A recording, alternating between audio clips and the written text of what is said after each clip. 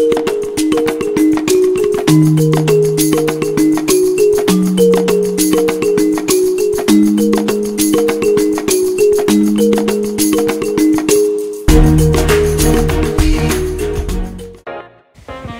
What is up guys? Welcome back to the channel. My name is Ryan, your DIY guy. And if you're new here, welcome. Make sure to go ahead and like and subscribe. Also hit that notification bell so you don't miss out on anything. But on today's DIY, we're creating a DIY privacy gate fence so that we can keep those nosy neighbors out from checking on what's going on in your backyard. Now, without any further ado, let's get into the build because it's a super simple DIY with readily available materials and very limited tools. So let's get started. So here we have our backyard privacy gate. It is not much of a privacy gate because you can see right through it.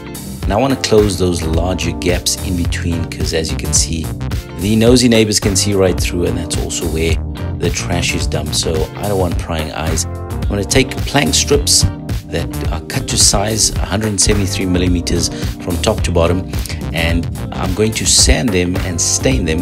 Then I can secure them to the privacy gate. So on to cutting.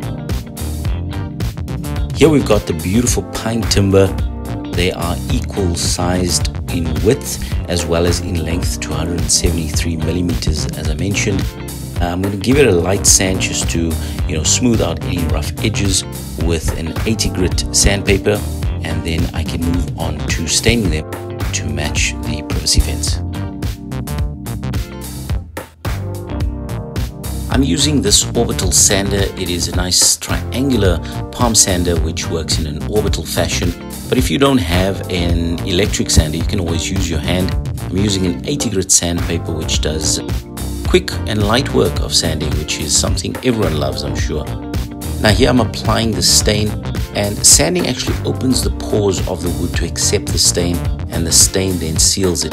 Now the great thing about this stuff is that it is water-based but provides longevity to the wood. So even if you do make a mess on your hands or clothes, cleanup is a breeze and it comes in a variety of colors which makes it very versatile. Absolutely love it. And the more you apply, the darker the stain becomes.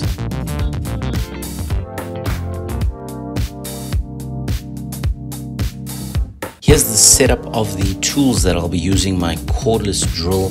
And I'm going to be using a steel drill bit that's going to be 5 millimeters in diameter. And that will give me enough clearance for our lag bolts which are these little fellas over here they are 5 millimeters in diameter and 40 millimeters in length. They come in a pack of 15 and I've got about 3 packs because I'll be drilling two holes on the top and bottom of at least 7 of those wooden pieces. So let's get on to it. This is a closer look at the lag bolts.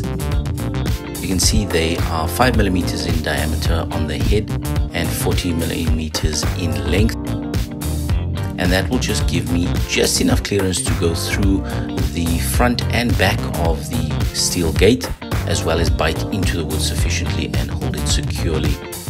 So I'm going to be using two holes on the left and right of each piece going right through from the front to the back and I'm going to be drilling the holes with this steel drill bit and that will make light work of the steel but there is many holes to drill so as you're drilling make sure that you have a oil-based lubricant that can just make drilling much easier and also not heat up the drill bit too much.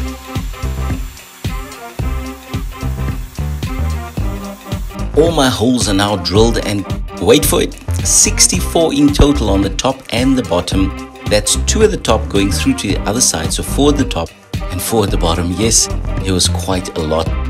But now I can move on to my brad point drill bit which is specifically for wood. And this will allow me to create enough of a pilot hole for my lag bolt to screw into and bite into the wood sufficiently.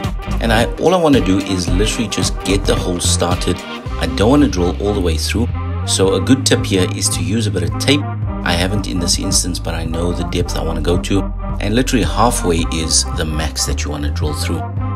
And then I'm going to move my attention now to using this 8 millimeter socket and I place my screw or my lag bolt into it which fits snugly and just get it started right? I don't want to go wild when I drill it in. I've got it on the lowest setting for screwing in and just you'll hear it bite into the wood and you know then it's catching. But the good thing is because you did the pilot hole it doesn't cause the wood to split which can happen on pine wood especially on the edges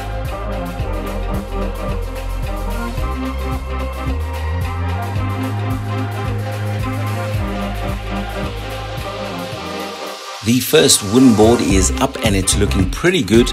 There's no splinters and no lag bolts sticking through on the other side. So very pleased with that.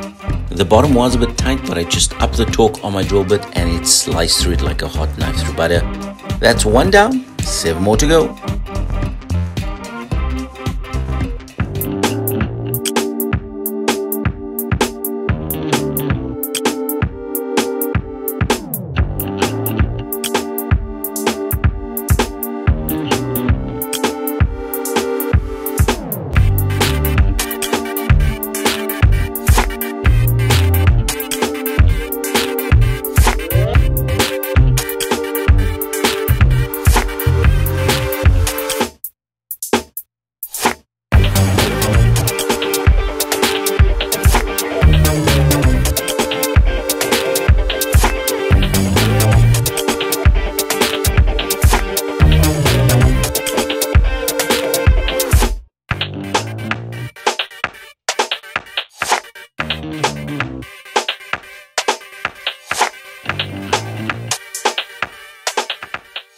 So we're on to the last piece over here and you can see I've secured it at the top.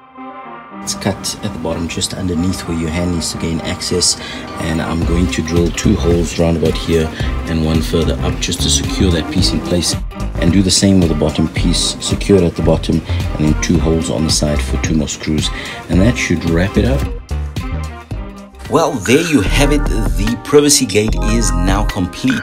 From the not so privacy gate that it was before, it now protects from any prying eyes or nosy neighbors and passers-by. I absolutely love doing this. It was a super simple DIY with very easy materials and tools at your disposal. So I hope you enjoy this content. If you found value, please smash that like button, hit subscribe, and make sure to press that notification bell so you get alerted the next time we post another DIY here on the channel. Uh, make sure to like and comment on what you'd like to see next. And stay tuned, coming up for the next DIY on Nail and Screw.